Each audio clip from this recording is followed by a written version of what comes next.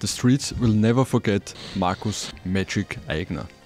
Wenn sie dir als Beefke in Österreich den Spitznamen Magic geben, dann muss etwas ganz Besonderes sein. Und das war er auch. Der Bayer kam 1998 von Regensburg nach Klagenfurt und war in diesem Jahrtausend der beste Fußballer in Österreich, der nie Bundesliga gespielt hat. Ein genialer Mittelfeldspieler, aber schwieriger Charakter. Seine Vereine FC Kärnten, Untersimbrunn, St. Pölten, Leoben, Austria Würmler, FAC, Baumgarten, Rennweg, Wiesen, Straßhof, Wiener Neudorf und Karabakh. 205 Zweitligaspiele, 55 Tore, 31 Assists und in der Wiener Stadthalle eine Legende. Einfach magisch. Auf einer Skala von 1 bis 100, wie legendär war Magic Eigner? Jetzt erstmal danke für diesen Vortrag sagen, das war wirklich sehr schön. Ich würde äh, Magic Eigner 82 geben. Mhm. Bitte so. haust mich nicht, aber wer? nein, nein, Magic Eigner sagt mir schon was, aber ich würde ihm eine 62 geben. Mhm. Du kennst Magic Eigner gar nicht, gell? Ich kenne Magic Chano. Mhm. Ähm, kann er auch Magic so zaubern wie er oder? ich weiß nicht. Ich hab, Magic Eigner war ein bisschen vor meiner Zeit. Aber ich kenne ihn von der Ansabanier durch eure mhm. Erzählungen. Ich habe das gute Stück auch schneiden dürfen. Von daher ist die 62, glaube ich, schon gerechtfertigt. Ja, Wahnsinn. Na, Magic Eigner, was, was ist deine Wertung? Ja, bei mir ist er auch ganz weit oben. Ja. Ähm, ich hätte ihm auch sowas äh, 81 gegeben. Zweierkonferenz, Episode 85. Gehen wir es an. Geht's? Und ich schaue da rein. Ach so. Ah. Okay, wo ist das Ich schaue an, Liga 2. Auf Laola 1. Ich schaue an, Liga 2. Ich kenne mich nicht aus, deswegen schaue ich mir das gar nicht an. Endlich wieder Liga 2, endlich wieder Zwarer Konferenz. Wir schreiben Episode 85 und starten in eine neue Ära, denn Patrick Stettner macht aus einem Duo ein Trio. Vielleicht werden ihn schon ein paar kennen von der AZA Konferenz. Servus Patrick, willkommen in der Zwarer Konferenz Familie, obwohl du warst das ja eh schon. Servus Patrick. Äh, servus, hallo, danke vielmals. Äh, ja, ich war eh schon ein paar Mal für, für, für kleine äh, Nebenauftritte schon bei der Zwarer Konferenz dabei. Unter anderem, wo ich dem Ritchie seine tolle Blau-Weiß-Linz Aufstiegsgeschichte mhm. geschrieben von ChatGPT vorgelesen habe. Ähm, das war, glaube ich, so mein, mein, mein Magic Moment. Mhm, das war, meine Tochter hat gesagt, sie kennt dich. Oh. Oh. oh. Wirklich? Ja. Und ich also. hoffe jetzt von der Tore-Konferenz. das hoffe ich. Ja. Okay. Der, doch, der ist sieben Jahre. Oder sechs? Sechs oder sieben? Äh, noch sechs. Sechs? Ja. Okay, alles klar. Aber sie wird in diesem Jahr. Du hast eine Tochter? Wurscht. Gehen wir gleich voll rein. Ich würde nämlich sagen, der Drops ist gelutscht, die Messe ist gelesen, die Kuh ist gemolken, der GRK steigt auf, oder? Nein, das ist jetzt so ein netter Take. Also ich will einfach nur. Also, ich dachte, das irgendwas erzählt und dann so unter. Okay. Nein. Nein, es ist, es ist schon äh, ein Wahnsinn. 3 zu 1 jetzt gegen Amstetten gewonnen. War jetzt da schon auch so ein bisschen zu erwarten. Naja, Amstetten wirklich starke Vorbereitung gespielt. Ja. Und sich gut verstärkt, guter Kader. Ich glaube, die greifen noch einmal an. Ich hätte, ganz ehrlich, ich hätte damit spekuliert, dass die vielleicht tatsächlich äh, äh X holen gegen GRK. Wenn es eine Punkteteilung geben würde in der zweiten Liga, dann würde ich dem SQ Ertelgas am Städten noch Chancen zurechnen. So wird es, glaube ich, ein bisschen, bisschen schwer. Ähm, vielleicht müssen wir aber generell unsere Zwara-Konferenz-Community äh, ein bisschen abholen. Wir werden die Zwara-Konferenz jetzt auch ein bisschen anders umstrukturieren. Ähm, wir sind jetzt weg von diesem alten Muster, wie wir es in den letzten Jahren gehabt haben. Wir haben das jetzt äh, eigentlich äh, spiegelverkehrt zur, zur, zur ANSA-Konferenz, setzen wir das Ganze auf, beziehungsweise Copy-Paste. Äh, Struktur, dass es immer von uns jeweils einen Take oder einen Fact gibt. Und äh, zum Schluss, einerseits natürlich gibt es noch den, den Quotenfokus und auch ein Special zum Abschluss. Klar werden natürlich auch immer wieder Userfragen integriert oder Inputs, aber ich würde sagen, wir fangen mit den Takes an mhm. und da darf ich übernehmen. 13 Siege in 16 Runden, 11 Punkte Vorsprung und das alles nach dem Dornbirn-Trauma. Dieser Verein war einst klinisch tot, wurde von den Fans reanimiert und steht nun vor dem größten Comeback der österreichischen Fußballgeschichte. Die Rückkehr der Rotjacken ist ein kleiner Lichtfunke in der ach so dunklen Kommerzwelt des Fußballs. Nur noch ein paar Monate. Dann gibt es die endgültige Wiederaufstehung, aber ich will der Erste sein. Herzlich willkommen zurück in der Bundesliga. GRK. Hast du einen Lappen mit? Es trieft vor Pathos, den müssen wir da unten irgendwo. Ist ein Wahnsinn, ich habe keinen mit, aber äh, es überrascht mich nicht, dass das der, der erste Take ist. Vom Ja, aber ganz ehrlich, also es ist ein elf Punkte jetzt da vorne. Die Ried hat sich jetzt ein bisschen jetzt selbst auch rausgenommen mit dieser Niederlage gegen den FAC. Ich glaube, das ist schon ein extremer Dämpfer gewesen zum, zum Jahresauftakt da im Innviertel. Ähm, und der GRK einfach souverän. Ich weiß nicht, wer den GRK noch stoppen könnte. Sie sind zu gut aufgestellt in der Breite. Ich meine, denkst drüber nach, wenn sie jetzt alles geholt haben im Winter. Murat Schatin, der sitzt da auf der Ersatzbank, Lichtenberger verletzt, Daniel Materna wieder zurück, sitzt da mal auf der Ersatzbank, Len Jas- Jastremski, der hat generell noch eine Rechnung offen vom letzten Jahr, ähm, hat sofort funktioniert. Auf einmal spielt Eloschwili die 10, alles funktioniert. Jastremski vor allem, als ob er nie weg gewesen wäre. Also ich habe jetzt auch nicht das ganze Match gesehen, aber einen, einen, einen größeren Teil. Und äh, ich habe das Gefühl gehabt, äh, war er den ganzen Herbst eben schon da. Also das war so, als ob er nie weg gewesen wäre. Für mich natürlich die Verpflichtungen mit, mit Schatin ist ähm, Wahnsinn. Ja. Ich meine, den haben sie dann auch erst eingewechselt in der 85. Minute, da haben sie noch viel Qualität. Ich sehe es eh auch so, dass der GRK aufsteigen wird. Aber es ist noch ein bisschen zu früh, um ihn jetzt schon zu gratulieren. Es, wird noch, es könnte noch spannend werden, sage ich dir. Noch ist die Messe nicht gelesen. Ja. Ich glaube schon, dass der Drops gelutscht ist, Harald. Nein, also, ja, aber ganz ehrlich, es, mir fehlt momentan ein bisschen die Fantasie. Ich meine, wir kommen dann natürlich zu deinem Take auch noch. äh, Das äh, konterkariert das Ganze ein bisschen, aber, aber trotzdem glaube ich, dass der GRK, also die sind einfach mental so stark und das hätte ich mir einfach nie vorgestellt zu Beginn der Saison. Gerade nach dieser Partie gegen Dornbirn, wo dieser Verein eigentlich wirklich wieder am Boden gegangen ist. Du warst so knapp dran, endlich wieder die Rückkehr in die Belletage des österreichischen Fußballs und dann wirst du im Grunde, du trittst dich selbst mit dem Fuß wieder runter in den Boden, in die Pfütze. Und dass die dann so zurückkommen, hätte ich nie gedacht. Chapeau. Also, mega. Nein, vor allem, sie, sie sind von den Rückschlägen in dieser Saison wirklich stark zurückgekommen jedes Mal. Mhm. Das muss man ihnen schon auch zugute halten. Ne? Ähm, ja, mal schauen. Es ist äh, allen GRK-Fans zu wünschen, dass sie keine Torschlusspanik da bekommen noch. Elf Punkte Vorsprung. Also ich, ich habe es mir jetzt leider nicht angeschaut, ob es das jemals schon gegeben hat, dass ein Liga 2-Verein elf Punkte Vorsprung in diesem Stadium der Saison nochmal hergegeben hat. Wie viel hatte Lustenau vor zwei Jahren Vorsprung Vor zum, zwei zum. FAC? Was waren das? Sieben oder acht Punkte, glaube ich. Oder Sieben oder acht Und dann Punkte. ist es ja doch noch spannend geworden. Also eine legendäre Zwarer-Konferenz, wo wir dann eigentlich auch Austria Lustenau schon zum, Ja. zum Aufstieg gratuliert haben, aber im Grunde ist ja dann auch Und passiert. dann gab es dieses Schneckenrennen. Genau. Ja. Sch nein, Schneckenrennen Das war war letztes Jahr blau-weiß äh, Ah, genau. Aber Austria Lustenau, da vier Runden später hat, ich glaube, dass Lustenau dann vier Partien nichts gewonnen Ja. und dann hat der FAC Lustenau Ja. geholt. Der GRK muss jetzt nach Dornbirn. Ja, das ist Überraschung sei. Von dem her, da kann alles passieren. Renan äh, zurück, äh, von, von dem her, keine Ahnung. Aber also ich bin, ich habe schon zu Beginn der Saison gesagt, dass der GRK aufsteigen wird. Ich bleibe dabei, der GRK steigt auf. Es ist jetzt ja kein Hot Take, aber der GRK ist reif für die Bundesliga. Und äh, jetzt bist du reif für deinen Take. Mhm. Jetzt bin ich reif für meinen Take und mein Take ist, äh, nach dem 2 zu 0 in Ried bin ich mir sicher, wenn ein Team dem GRK noch gefährlich werden kann, dann ist es der FAC. Äh, Die Freudsdorfer sind längst ein Spitzenteam der Liga und haben aus den drei Spielen gegen den GRK und der SV Ried in dieser Saison sieben Punkte geholt, sind also ungeschlagen. Der FAC bringt alles mit, um, wenn der GRK schwächelt, im Titelkampf noch ein Wörtchen mitreden zu können. Defensiv stabil, vorne immer für ein Tor gut. Bei Standards bärenstark offensiv wie defensiv und mannschaftliche Geschlossenheit. Und noch ein Punkt würde ich aufführen, Mitja Möritz. Mhm. Mitja Möritz, die Konstante auf der Trainerbank äh, der Floridsdorfer jetzt ja schon seit drei Jahren, glaube ich. Das, Hat er damals übernommen? Frühjahr 2021 hat er übernommen. Ja. Also von dem her für mich ja überraschend, dass der noch nicht in der Bundesliga irgendwo angedockt hat. Ja, er Ja, hat so- keine große Lobby in Österreich offenbar. Ja.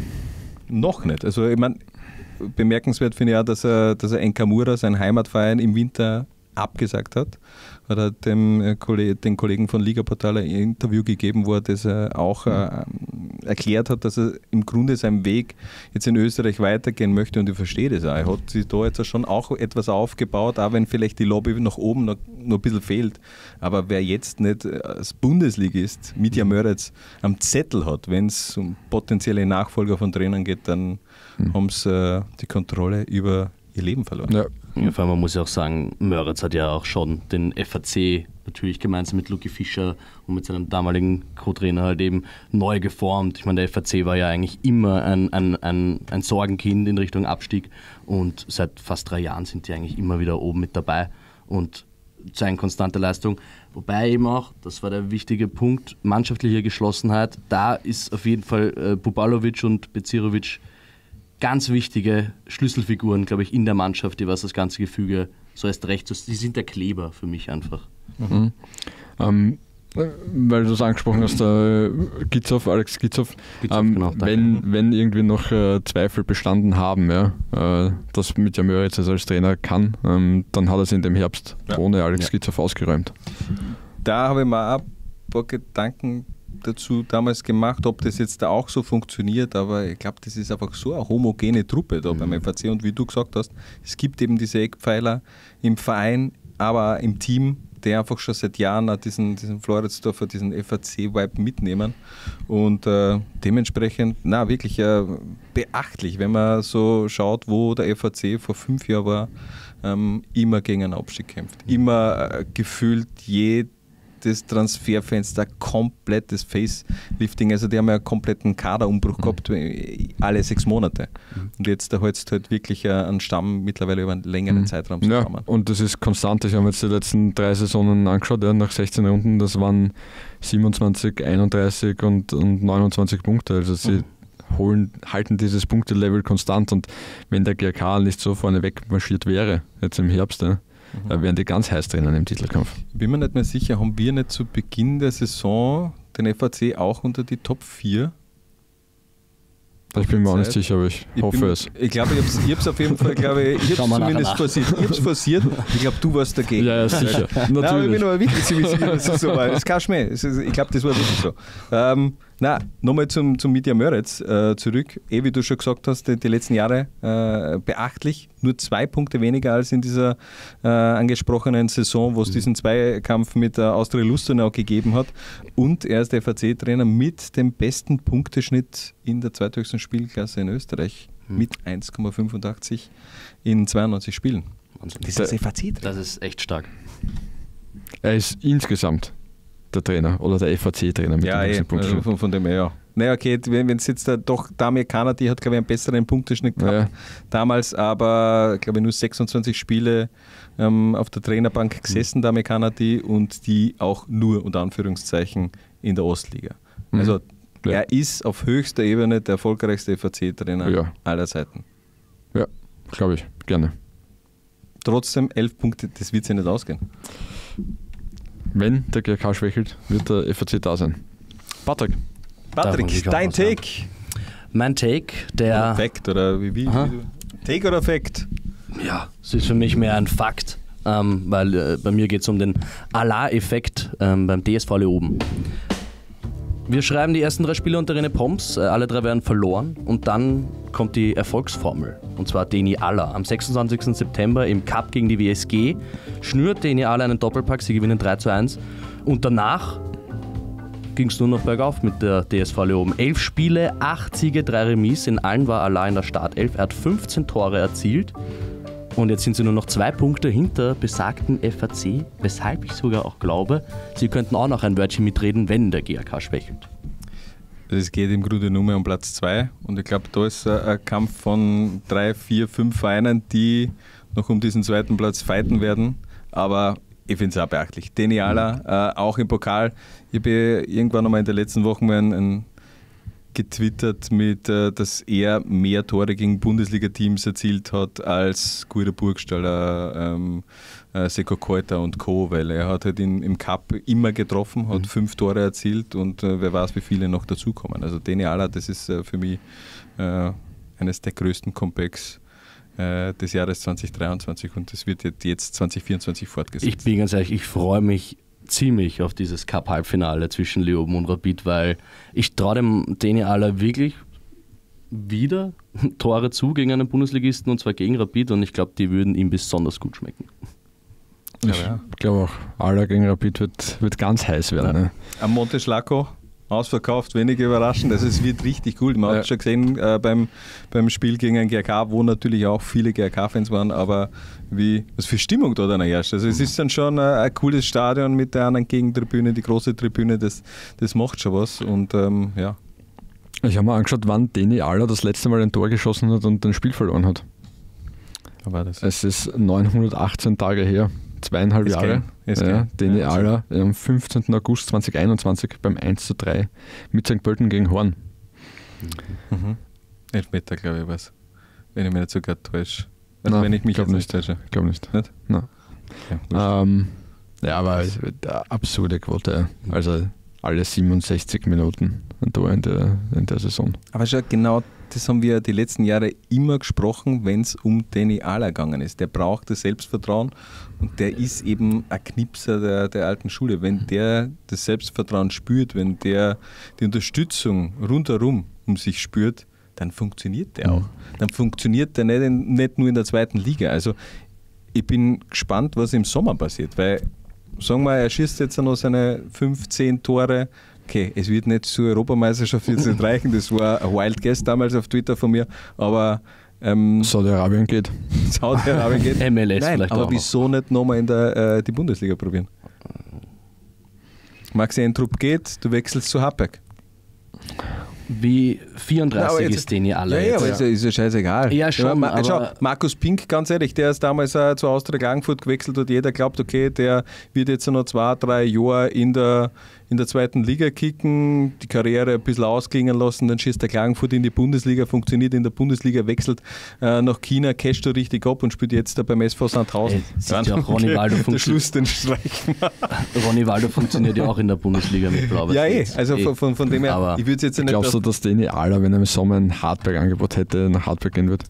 Ich glaube, Deni Aller weiß sehr zu schätzen, natürlich was er aktuell das, am aber- DSV Leoben hat und warum nicht der Leoben nächstes Jahr raufschießen. Ja, kann natürlich auch sein, dass das ein Ziel ist das von, sehe ich eher. von, von, von Deni Ala. Aber ich glaube trotzdem, dass Deni Ala im Sommer auch ein Thema für einen etwaigen Bundesliga-Sturmposten wird. Also würdest du ihn zu Euro mitnehmen?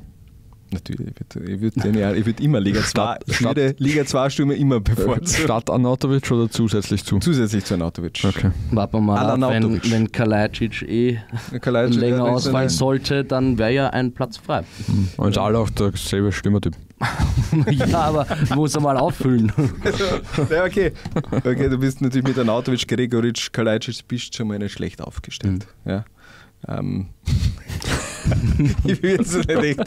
Also es, es, soll, es soll jetzt keine seriöse Diskussion darüber werden, aber ich meine, andererseits, ich habe es jetzt, äh, wann war das? Beim, beim Montagsspace auf Twitter vom Lugi.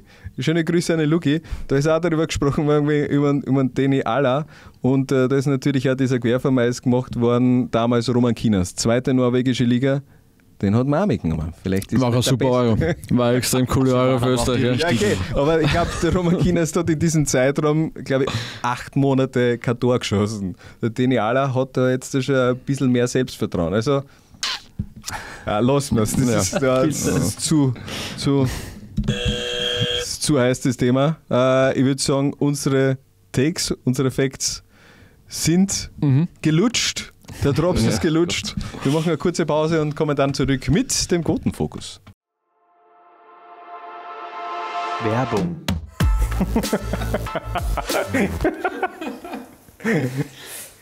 Gut. Gemeinsam mit unserem Sportwettpartner Admiral blicken wir auf das Admiral Topspiel der 17. Runde in der zweiten Liga. Das da lautet Admira gegen die SV Guntermatik Ried. Die Quoten sind wie folgt: Sieg Admira 3,45, Remis 3,45 und Sieg für die Wikinger 1,95. Beim letzten Duell trennten sich die beiden Teams mit einem 2 zu 2. Ried damals 2 zu 0 in Front. Dann kamen die Admiraner nochmal zurück. Ähm, was sehen wir am kommenden Sonntag? Ried mit Wut im Bauch höchstwahrscheinlich. Davon kannst du ausgehen. Ich sagte auch, das wirst du am Spielfeld sehen. Und ich bin davon überzeugt, dass Ried äh, in der Südstadt gewinnen wird und mit drei Punkten wieder nach Hause fährt. Na, Ried schon schwer unter Druck.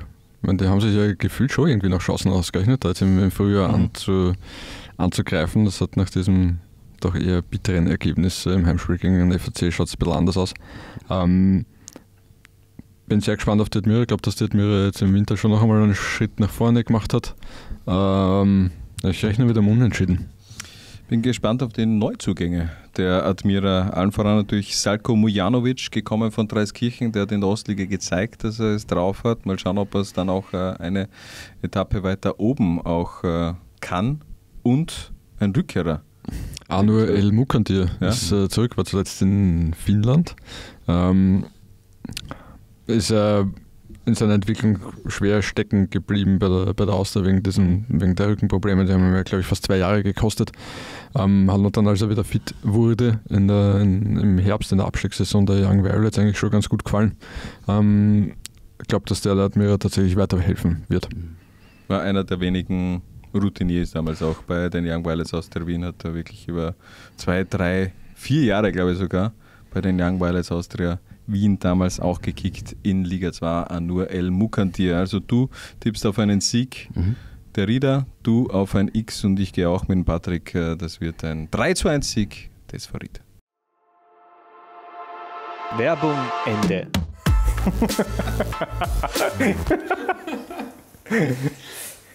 Gut. Und gemeinsam mit unserem Sportwettpartner Admiral suchen wir auch in diesem Jahr wieder den Admiral Liga 2 Fan-Kommentator. Wir starten also mit dieser Aktion auch in diesem Jahr. Nähere Infos unter www.lola1.at slash fankommi. Da dürft ihr eure Hörproben dann auch abgeben. Einige Liga 2-Spieler haben ihre Hörprobe schon abgegeben. Ich würde gerne bei einen reinhören, denn der war wirklich unfassbar gut. Simon Furtlehner vom SV Stripfing. So, der Gatti macht das Spiel schnell auf den Mo. Der trippelt an. Hat er Dementario. Kriegt ihm nochmal. Da geht's durch die Osterrager und ab ins Glück. Herrlicher Treffer. Mo, Mo, Moritz Wels. Da gefreut die Leute mit ihm. Ja, ein, zwei, drei haben Probleme mit seiner Frisur und richten ihm die Ohren. Da muss er durch. Keine 30 Viertel gespielt. 1-0 und der Stripfinger Fanboss, der hat einen Parkplatz gesucht. Hätten sie das gewusst, hätten sie sich in Heigen wahrscheinlich der Sport und lieber das Tor gesehen, weil es ein Wahnsinn wirklich war. Durch die Trager. Halt die dir zu! Unwahrscheinlich! Das hast du oder hast nicht. Und der Bur hat's. Super Zusammenspiel und dann ist er drin. Und am Schluss zeigt er uns einen steirischen Urschrei. Habe ich so auch nicht gesehen. Wie stark war das? Wie stark war das? Wirklich stark. Da waren ein paar ausgezeichnete Schmähs dabei. Hätte der vielleicht das Potenzial, dass er mal. Dich ersetzt, Ich auch, dich, dich ersetzt, ja. Ja, ja. ja. Und ich Ja. spiele einmal Stripfing? Ich Na, da war wirklich reicht's. in meinem Traum. Hättest du das Potenzial als, als Innenverteidiger in der zweiten Liga zu spielen? Ah, Ja, weiß ich nicht. Könnte spielen, bei Kopfballduellen tue ich immer schwer. Aber ansonsten, nein, ich bin ja kein Verteidiger, ich bin ein- Zehner. ja. Mhm. Wirst Na, du also die Performance- war 10 von 10, aber du als äh, Zehner bei Stripfing sehe ich weniger. Sicher auch weniger. Aber wir haben wirklich äh, viele gute Einsendungen bekommen. Du hast ja einige schon durchgehört. Wer sind so deine weiteren Favorites? Wenn du so kurz zurückdenkst. ich- ich habe ähm, einen schon im Kopf, der richtig gut war. Ich finde das Leoben-Trio eigentlich auch ziemlich unterhaltsam. Äh, Amor, Amor, Friesenbichler. Ala, war, war sehr cool. Äh, hat mich sehr überrascht auf einmal, dass da drei gleich sitzen Mhm. und kommentieren. Ähm, wer war deiner? Murat. Mal den- Murat das Chatin war- auf Türkisch. Auch mal was Neues, ja. Das war Eine richtig cool. seiner letzten äh, Amtshandlungen als Bregenz-Spieler, bevor er dann zu, Ja. zum GRK gewechselt ist. Aber der hat auf Türkisch sein Tor gegen die Admira Mhm. aus dem Herbst kommentiert. Extrem gut, also rein von der Tonalität, von der Emotionalität. Ich habe die Augen Das war zugemacht und ich habe es gespürt. Ich habe das Gefühl, Also, es wäre Wahnsinn. wär Besiktas gegen Fenerbahce. Ja, ja, voll. Und dabei war es dann eben Admira gegen Es gab mir so leichte Vibes von So damals ein mit bisschen den despektierlich jetzt. Wieso? Gegenüber das Dabei Istanbuler Derby.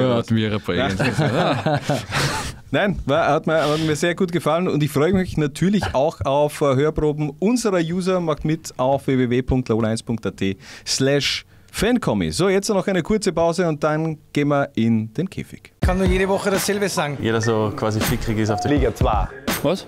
Bitte? Was für Wort kann ich sagen? Fickrig, ja. Und die Lehre ist ganz klare Lehre ist. Ich schon auch Liga 2. Wann hast du das erlebt? Wo hast du das erlebt? In Österreich?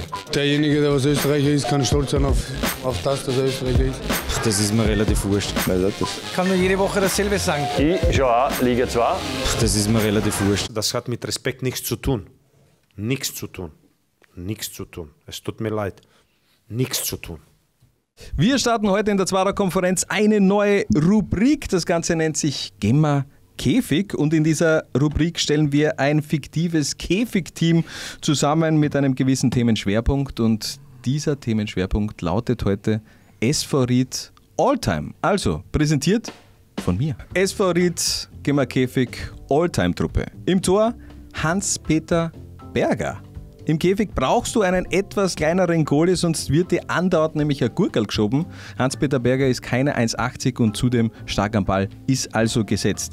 In der Verteidigung habe ich einen Kicker gesucht, der keinen Zweikampf scheut, der ohne Rücksicht auf Verluste auch in, in Zweikämpfe geht und da fällt einem natürlich nur einer ein bei der SV Guntomatik Ried, die wandelnde, blutende Turban Kopfbedeckung. Frankie Schiemer ist also gesetzt bei mir in der Verteidigung. Und im Mittelfeld, da setze ich auf Leader- bzw. Hallenskills. Miguel Drechsel und Andy Lasnik, die ziehen die Fäden, die spielen Hollywood bei diesem Käfigteam, Harald. Und äh, im Sturm, ja, da war natürlich Sanel Kulic mit seiner Street Credibility, der hätte schon auch gut funktionieren können, aber es braucht einen, der schnörkellos spielt, der einfach ein paar Tap-Ins macht und nur den Zug Richtung Tor hat. Und deshalb bei mir im Käfigteam Hamdi Salih.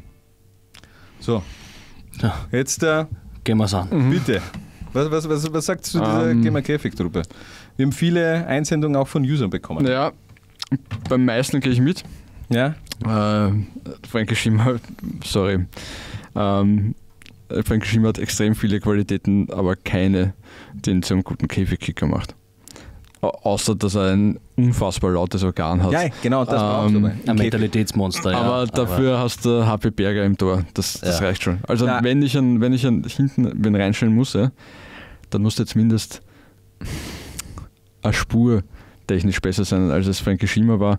Ähm, und ich würde statt Frankie Schiemer hinten Stefan Leiner reinstellen, weil erstens mal rennt er wie ein Irrer. Ja, und das ist im Käfig. Käfig? Na, im Käfig brauchst du einen, den musst du siebenmal überspielen. Ja? Und Leiner steht immer noch vor dir und außerdem äh, schaltet sich der dann trotzdem noch ein und macht Ja. die vier Schritte vor, wenn es um einen, um einen Zweikampf geht. Kein Mensch will im Käfig gegen Frankie Schiemer spielen. Denn das tut weh. Oder Stefan Leiner. Na, denn Das Ähm, tut sicherlich weh. Also, Und ähm, am zweiten hätte ich noch rein reklamiert. Ja. Ähm, Robert Schul ist ja schon ein Mm. klassischer Käfigkicker. Ja. Ro- Robert Schul Ja, würde ich schau. statt Andi Lasnik hinstellen. ich hätte Würde ich Robert Schul ich ja schon ein paar... nicht, bevor jetzt du weiterredest, lassen wir den Patrick ja, bitte, noch kurz. bitte, bitte. Also ich gehe auch d'accord auf jeden Fall mit Hans-Peter Berger, allein wegen seinem äh, Stimmorgan. Ist ja sicher auch lauter, das braucht man. Äh, statt ein Schiemer, äh, na, äh, ich habe auch kurz überlegt, dass ich äh, einen Liner reinpacke, aber ich habe mich dann für Olli Kragel entschieden, weil ich kann mich auch erinnern, der hat einen ordentlichen Wumms gehabt äh, und der hätte auf jeden Fall im Käfig das ein oder andere Mal eine richtige Rakete gezündet. Olli Kragel ist einer, den hasst als Goalie im Käfig. den hasst einfach. Ja. Das stimmt, ja. Der zieht aber fünf Meter Ja, so, Alter, weg. hey, komm, kann man nicht normal spielen. Ne? Vollgas. Der ist wichtig, den brauchst du, weil da hat der Goalie Angst. Der, Wirklich. spitz, der, der schießt sicher spitz. Olli Kragel schießt Hauptsache spitz, drin. fünf Meter vom Tor, komplett Richtung Torhüter. Kopf. Äh, statt ein Drechsel habe ich Anel Hatzic, weil aggressively, das ist so ein richtiger Mentalitätskicker halt eben auch, der für den Käfig für mich essentiell wäre. Und statt ein Lasnik hätte ich mich eher für Marco Grühl entschieden. Weil der für mich einfach auch ein bisschen standfester ist. Der Lasnik geht, glaube ich, beim Kontakt eher leichter zu Boden als der Marco Grühl. Das ist mir so ein Kämpfer, ein Beißer, das ist eh in jedem Spiel und ich glaube, den Käfig wird der auch gut funktionieren. Salih im Sturm gehe ich komplett d'accord, da hätte ich nichts anderes. Ja, sorry, brauchen wir nicht diskutieren. Ja. Ja, weil, weil, was, Fe- was fehlt mir bei dir fehlt mir ein bisschen, ein bisschen die, die technische Finesse. Ja. Letztendlich. Was? Wieso? Also ich finde, ein Oliver Kragel war jetzt da nicht so schlecht mit dem Ball Ja, und, und, und Aber und Drechsel ein und, und, Ja. Robert Schul sind schon eine andere schon Baustelle als, als ich entscheide mich halt ein bisschen mehr für Mentalität. Ja, das- wie gesagt, das ist Wiener Ich- Käfig, das geht nicht anders. Ganz ehrlich, ich habe ja viel über Stefano Sudanovic nachgedacht. Es gibt wenige Spieler in der Bundesliga, die auf so engem Raum äh, so starke Ballkontrolle haben. Deswegen glaube ich, dass es Stefano auch sehr gut funktioniert hätte. Auch Stefan Nutz, aber ich glaube, der ist ein guter Hallenkicker und weniger im Käfig zu Hause. Ähm, und ansonsten oft gefordert Milan Orage von den Twitter-Usern, auch ein Ewald Brenner oder ein Stefan Lexer. Ähm, Ja, Alexa, ja. Brenner. Brenner kann ich mir schwer man vorstellen. das, das passt überhaupt nicht. Äh, Hofi hat geschrieben, es wird totgeschwiegen, aber Glasner gehört rein, überhaupt nicht, finde ich. Also Glasner rein von der Im Käfig eher Mentalität, weniger. da, da ist er, da ist ein Fremdkörper im Käfig, hätte ich gesagt. Ja, Glasner. als was gehört er rein? Trainer, Als Trainer. Schiri, Schiedsrichter. Schiedsrichter könnte man Oliver Glasner im Käfig sehr gut vorstellen. Und der, der Vertrauenslehrer, der es organisiert. Wenn der Olli wieder zu fest schießt. Olli, komm Pause. Äh, Alpha Kevin Tonhoff hat auch geschrieben, Tormann und Stürmer sind mehr oder weniger egal, aber die zwei in der Mitte gehören nur Wigald Drechsel und Anni Lasnik. Ja, schau, die Rieder Streets will never forget, hat er da auch noch angefügt. Ja, Ah ja, Schön. Wie, schöne- wie viele Käfige gibt es in Ried? Frage an die, Ja. an die Rieder Einwohner, die Genau. uns zuhören. Und äh, vielleicht natürlich bitte auch noch eure Inputs in die Kommentare auf YouTube beziehungsweise auch auf Lola1.at. Und ganz zum Abschluss dieser Episode gibt es jetzt da noch eigentlich nichts zu gewinnen. Es ist schon entschieden, wer gewinnt. Nämlich, vielleicht kannst du das nochmal äh, erklären. Was ist das, Harald? Äh, das Buch heißt A wie Alaba und ist perfekt, um Für Weihnachten. für Weihnachten, für Ostern, um das Alphabet äh, zu lernen. Ja. Es ähm, ist jeder Buchstabe des Alphabets anhand eines österreichischen Fußballs, Fußballers oder einer österreichischen Fußballerin ähm, erklärt von den Kollegen äh, Fabio Schaub, ähm, äh, Peter K. Wagner und dem Kollegen Seidel äh, ge- verfasst, dieses Buch. Wenn es uns gehört habt und die Ansa-Konferenz gehört habt, hört die bei DBLDW bitte auf jeden Fall. Ja. Ein großes Shoutout an Sie. Äh, sehr cooler Podcast, sehr cooles Buch. Kauft es euren Kindern oder Neffen, Ich habe auch Nichten, viel gelernt. Ja. Enkeln Ja, oder- oder äh, Patrick. oder, oder euch selbst. Gibt es jetzt auch als Malbuch. Ja, habe ich auch schon gesehen. Gibt es auch als Malbuch. Äh, Finde ich sogar noch interessanter. Mein Liebe, was ist dein Lieblingsbuchstabe? H wie Hannes, Ähm, H, H wie Herzog. Na, warte, was war, was war, irgendwer, wer hat mir gefehlt? Irgendeiner hat mir gefehlt, aber ich weiß nicht mehr wer. K für Krankel oder? Ähm, ja, Naja, eben für Mählich. Habe ich gehört, große Diskussionen. Ob Roman Mählich oder vielleicht doch Alex Manninger oder Christian Meierleb oder Christian Meierleb. Ja. oder Dennis Mim. Ja. Ist wurscht, aber wir haben es ja auf jeden Fall, äh, wir haben schon ausgelost, wer das Ganze gewinnt, nämlich auf YouTube hat gewonnen der Inti 001, Mhm. dann der RMI Underline 96, wunderschöne Namen, und auf Twitter der Salzburger Bur, der das rein SKN-mäßig dann diese Aufgabe erfüllt hat mit äh, der Challenge, nennt uns Spieler mit A, B, C oder dem An Anfangsbuchstaben D. Ja, Gratulation. Ja, sehr schön. Gratulation und äh, Gratulation an euch. Es war jetzt super, Burschen. Patrick und Harald. Das war die erste Zwarer-Konferenz zu dritt. Danke. Obwohl du in den Pausen ein bisschen ungut warst, äh, ist es okay gewesen. Ne? Ist, wo wir ein paar Mal buzzern mussten. ja, okay. Das ist, äh, der Basa, der kommt dann das nächste Mal mehr äh, zum, zum Einsatz. Das war es auf jeden Fall von der Zwarer-Konferenz. Episode 85. Schaut euch die Ansa-Konferenz an. Schaut euch alle Ansa-Paniere an. Und äh, gönnt euch natürlich Liga 2 am Wochenende in diesem Sinne. Tragt es in die Welt hinaus. Viva la Liga 2. Ciao. Ciao. Servus. Was? Bitte? Jungs und Mädels. Ich schau auch Liga 2. Was? Bitte? Ich schau auch Liga 2. Was? Bitte? Ich schau auch Liga 2. Du auch? Nein, ich, ich hab gewusst, die Frage kommt von dir. Zwarer Konferenz, der Podcast zur zweiten Liga bei Low 1.